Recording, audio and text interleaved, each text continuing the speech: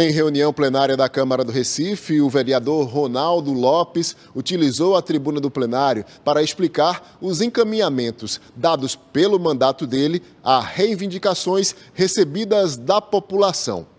Nós buscamos estar na ponta, vendo os problemas, oficializando isso e conversando com as pessoas. E entregando os ofícios e requerimentos com essas demandas.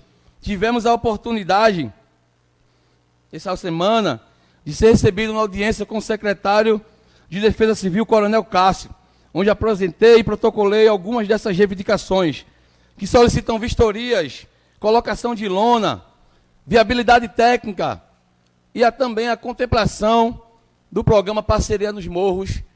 Também apresentamos ao presidente da Enlurbe alguns ofícios e requerimentos, como de número 439-2023, para a realização do serviço de recuperação da escadaria na rua Caipu, na Guabiraba, como também no Córrego da Loura, e também a rua, a pavimentação e drenagem da rua Macarani, no Córrego do Marreco, ambos no bairro da Guabiraba.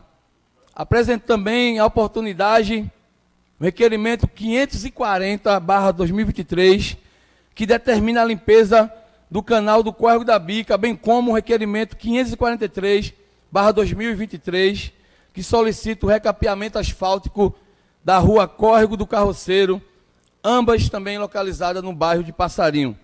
Nós estamos aqui para seguir a nossa bandeira e o nosso compromisso.